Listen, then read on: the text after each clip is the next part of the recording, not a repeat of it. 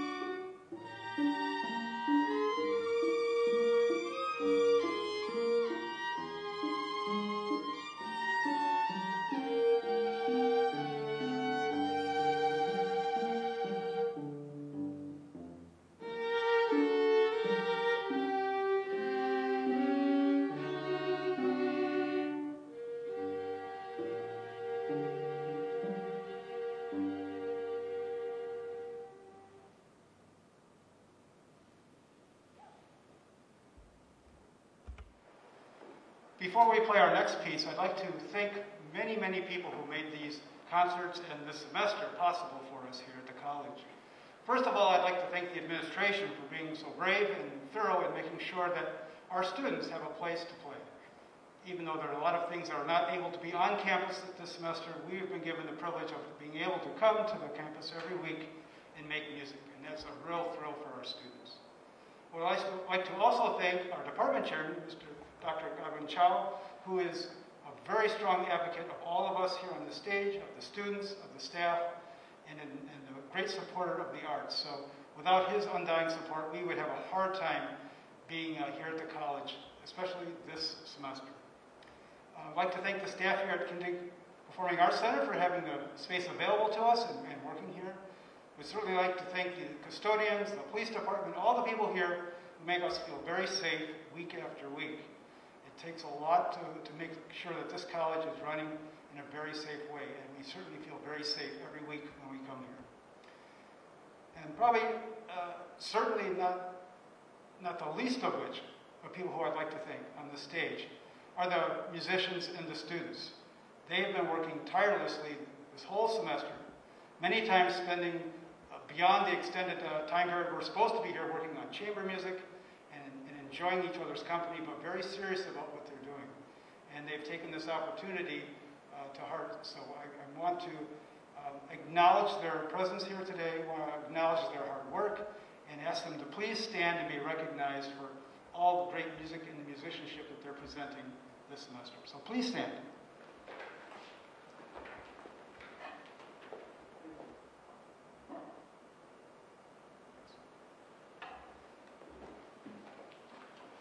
They my job a lot of fun, so I, I really appreciate them doing what they do every week so we can have a concert like this. Before we play the Capriole Suite, I wanted to give you a little background on the piece because it's, it's kind of a, it's an interesting history. Um, in 1588, that's right, 1588, there was a book um, published, it had to do with dance. It had a very long title in French, which I won't bore you with, but the English translation is Orchesography, or Treaty in the Form of Dialogue by which all persons can easily learn and practice the honest exercise of dances. They don't make titles like that anymore. That's a really long title. But this was a very important uh, piece because it was typical in that period to have a, a course or a study or learning of something in a, in a style in which was a conversation or a dialogue. So you had a teacher, you had a student, you had a mentor, you had a student. And so that's how you learn something. So this book had those kinds of teachings in it. It was a manual, it was a very important tool to understand the uh, 16th century, the late 16th century, French social dancing. Uh, the manual provides critical information on social ballroom dancing, behavior, and the interactions of musicians and dancers. Uh, the book's usefulness also was by, had some enhanced notation as to how this system correlates to the music and to the dance steps. And it also contains some original musical compositions. So march ahead a few years, 1925, this book was translated into English. And in this English translation, the musical illustrations were transcribed by Warlock, the composer of the Suite. He also provided some very informative introductions to the dance tunes and of that period. So in October of 1927, Warlock wrote his Capriole Suite based on those melodies. He's a British composer, and uh, he was, was very uh, well known for this publication and his contribution to it. Now, other composers a little ahead of his time, say Respighi, he had written um, a suite of, of, dances called Ancient Airs and Dances in 1917. But Respighi basically took exactly what was written before him and just gave it a big uh, orchestration using the orchestra of his day. So Capriole Suite is a little different in that Warlock took these melodies, but he also wasn't shy about putting another melody on top of it, maybe giving it a descant, or giving it a coda, switching it around a little bit, just giving it a little more lively. So in this suite, he took a little more liberty. He also, uh, I think it's pretty clear to see he added his own harmonization to much of these melodies. There's, you'll find every once in a while something very kind of interesting, a little maybe a little a morsel of dissonance or interesting rhythm or a counter rhythm, and those were his additional flavors to the original tunes, which he knew very well. So uh, we're, we're pretty sure uh, this is one of my favorite pieces, so we're hoping it's going to become one of your favorite pieces too. Uh, we hope you enjoy the six charming dances from Warlock's Capriole Suite.